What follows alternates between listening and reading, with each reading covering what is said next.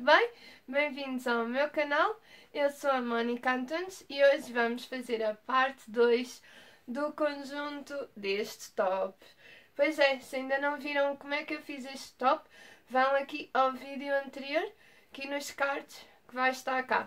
Agora vamos utilizar o resto da charpa para fazer a parte de baixo, a saia, não é? Já que está muito na moda os conjuntinhos, o verão passado e o próximo, vamos já deixar um XPTO tudo bonito para o próximo verão. Para o próximo verão. A gente tem que fazer roupa no inverno para o próximo verão, que é para ter as coisas prontas quando lá chegarmos, né? Pronto. Não pensei que eu sou maluca, é por isso que eu estou a fazer no inverno roupa de verão, ok? Depois faço ao contrário, ou se calhar não. Pronto, já falei demais. Se gostam deste tipo de vídeos, deixem o vosso like, apoiem aqui o canal.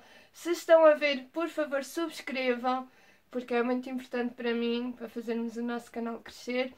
E bora ver então como é que eu fiz a saia? Então, esta foi a nossa parte de cima que fizemos no vídeo anterior, para vocês poderem ver. Então, ficou assim.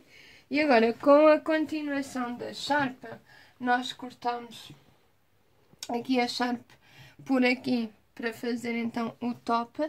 E eu já, se vocês repararem aqui, então na costura eu já tinha feito a costura até baixo para, para prolongar o top.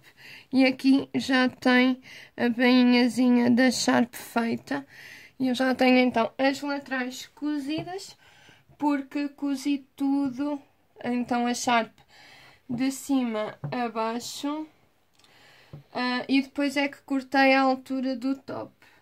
Então, agora, como as laterais já estão cozidas, vamos fazer o acabamento. Uh, façam o zigue-zague aqui, está bem, do lado se o vosso uh, tecido desfiar e nós vamos então guiar por aqui e vamos pôr um cordelzinho à volta para mexer mais fácil.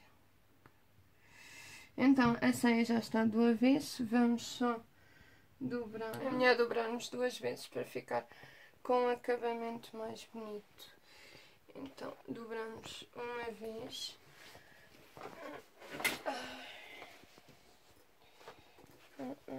Alfinetes.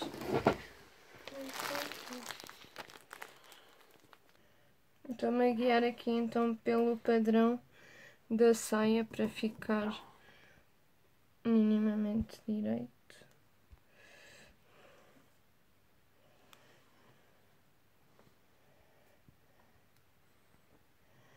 E aqui no meio então, como o nosso corpo não é direito, não é que convém afundarmos um bocadinho.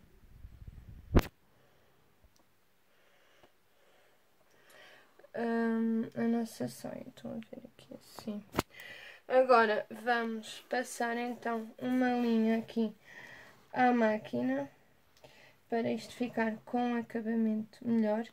Depois voltamos a dobrar para passar o cordão. Ok. Retrocesso.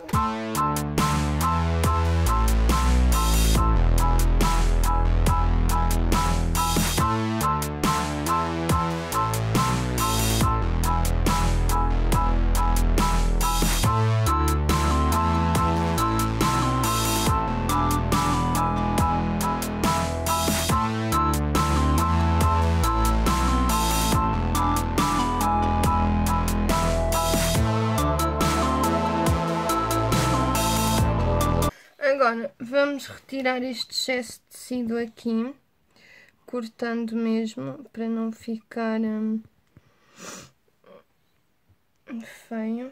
Pegamos no elástico, tem que ser sempre menos, mais ou menos 5 centímetros do que a vossa cinta ou anca onde querem pôr a saia para apertar. Eu já medi então e é esta no meu caso e vamos cozer aqui um elástico.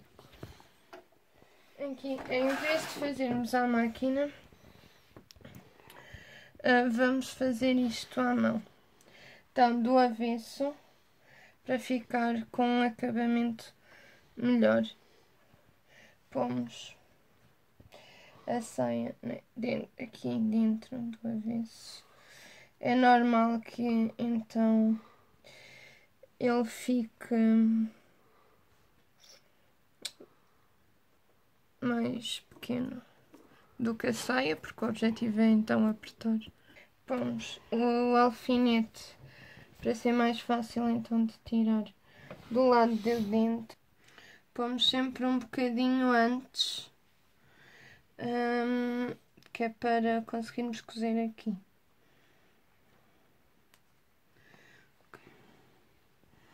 E agora, então, viramos.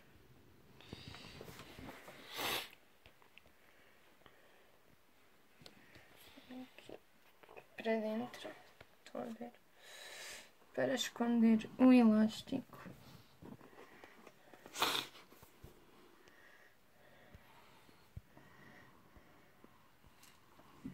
Agora vocês têm duas alternativas ou cosem outra vez então aqui a máquina ou vamos cozer à mão. Eu vou optar por fazer pontinhos à mão porque assim eu tenho a certeza que a agulha não vai para cima do elástico porque hum, não pode não pode ir para cima senão o elástico não anda. E o objetivo é o elástico andar. Então esta parte para ficar mais perfeitinha eu vou fazer à mão mesmo. Então vamos começar aqui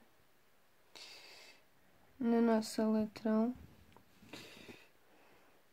com o nó então da linha já feito. E eu vou cozer sempre de baixo para cima. Meto a agulha no, no tecido de baixo, no, no nosso coche e coço.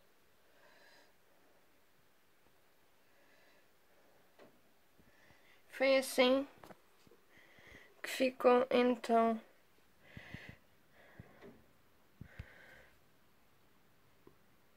a nossa parte cozida à mão.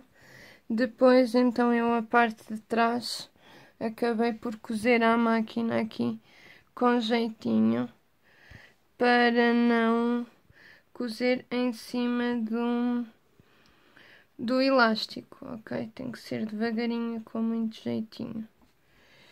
Para quem tem menos prática, faz primeiro assim e depois passa à máquina. E a nossa saia a condizer com o nosso top ficou então assim então com o elástico preso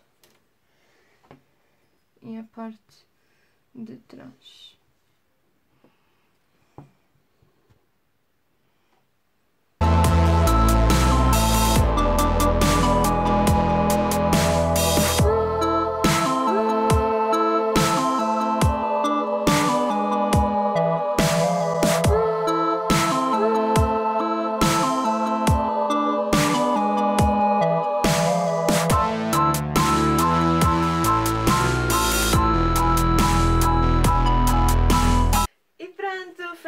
ficou mais um vídeo. Espero que gostem assim deste conjuntinho que eu fiz a partir de uma Sharp.